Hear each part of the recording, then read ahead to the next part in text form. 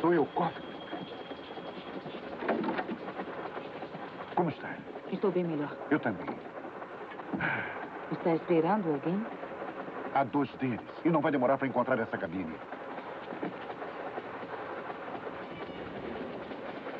Eu vou descer na próxima estação. É impossível. Você me vigia. Teremos alvos fáceis. Quem falou que você vai comigo? Vai sair sozinho?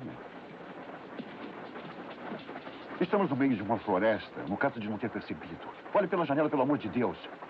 Vai sair a pé? Deve estar frio. Minhas chances de protegê-la são melhores aqui. Me proteger?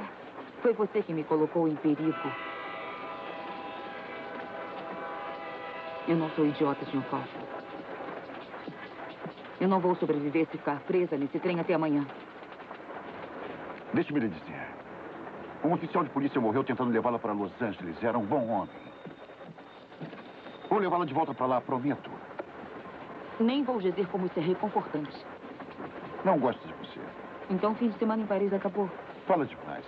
Deveria fazer uso da língua na cadeira de testemunhas. Eu acho que você não escuta bem.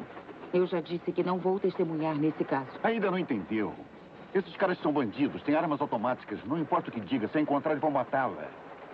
Temos duas coisas em que pensar. Uma, me viram, mas não viram você. Não devem saber como você é. E? E nós temos um outro problema. Você vai ter que me proteger. Quem é? Condutor, senhor. Ah, sim. Desculpem incomodá-los. Um cavalheiro perdeu sua maleta. Ah,